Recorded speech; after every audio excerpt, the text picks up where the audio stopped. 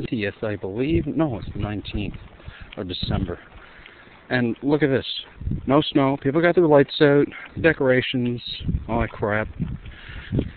And now look at snow. It snowed yesterday for about 20 minutes, and it melted. Got my hopes up that we're going to have a white Christmas. Not.